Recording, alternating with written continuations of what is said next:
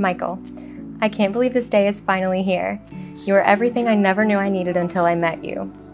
The first time you held my hand in your car on our way to vote, I knew I loved you. Dear Brogan, since the day I met you in that college classroom, I've been madly in love with you.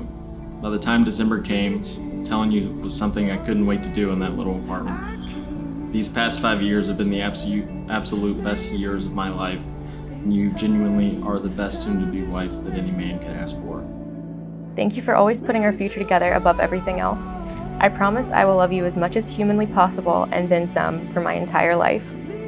You make me so happy and proud to be your future wife. Here's to a lifetime of Saturday mornings snuggling in bed with the pups. I love you more than words, Brogan. I'm looking forward to having an amazing life with you, Murphy, Cooper, and our future kids that, if they're anything like you, will be perfect and good looking too. Thank you for making me a better man. I am incredibly lucky to get to marry you in about 6 hours and 21 minutes, but who's counting? Now, let's go do this so I can see that beautiful face walk down the aisle. Your soon to be forever husband. I've been holding in everything. I just wanna say the.